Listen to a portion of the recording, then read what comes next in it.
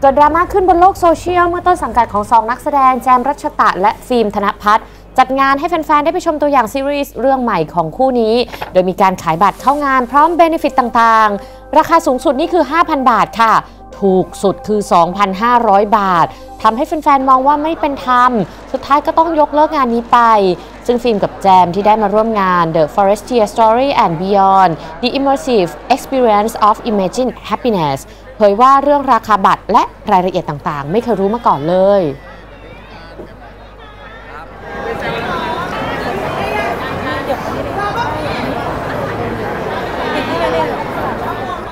เรื่องนี้เรื่องการจัดงานมันเป็นเรื่องของทางผู้ใหญ่อะครับ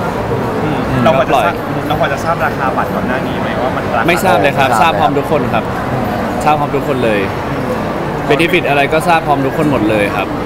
รู้สึกไม่ดีครับ รู้สึกแย่เป็นห่วงทั้งทุกฝ่ายเลยครับ คือด้วยความเข้าใจผิดในทุกๆอย่างก็มันเป็นความผิดพลาดครับ ก็ถือว่าเป็นบทเรียนของของพวกของทั้งพวกเราที่ต้องเก็บไปเรียนรู้ในครั้งต่อๆไปก็ก็ต้องคิดให้เยอะคิดให้รอบคอบกว่านี้ แอบเสียดายไหมอยู่ๆแบบว่าก็ถูกยกเลิกไปเลยก็เสียดายนะครับ ก็อยากอยากเจอแฟนคลับด้วย เพราะว่าครับ ก็เดี๋ยวต่อไปก็คิดว่าก็น่าจะมีเวลาเจอกันน้อยลง ด้วยการด้วยถ่ายซีรีส์ด้วยอะไรด้วยอืม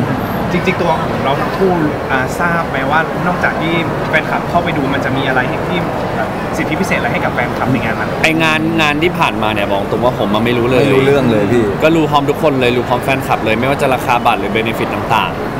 เห็นข่าวจากไหนเอ่ยจากทวิตเตอร์ผมเห็นในทวิตเตอร์ครับ ตอนนั้นก็ตกใจเหมือนกันเนาะใช่ครับเล่นในแท็กขึ้นมาผมก็เอ้า มีเรื่องอะไรกันอย่างเงี้ยก็เลยเข้าเข้าไปอ่านดูก็เห็นใจทั้งสองฝ่ายเลยพี่ครับ